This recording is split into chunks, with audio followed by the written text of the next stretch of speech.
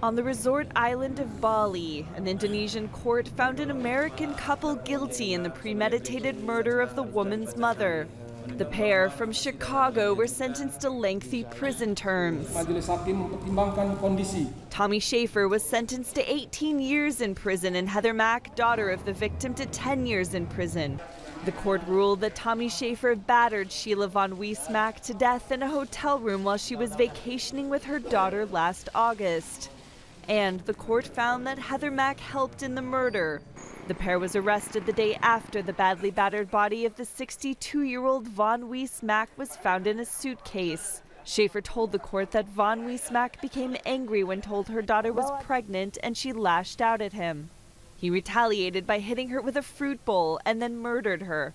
Prosecutors say the daughter helped Schaefer by sitting on the suitcase lid so it would close after he stuffed the body inside. Placing the suitcase in the trunk of a taxi, the pair told the driver they were going to check out and come back. They never did. Maggie Mazzetti, Associated Press.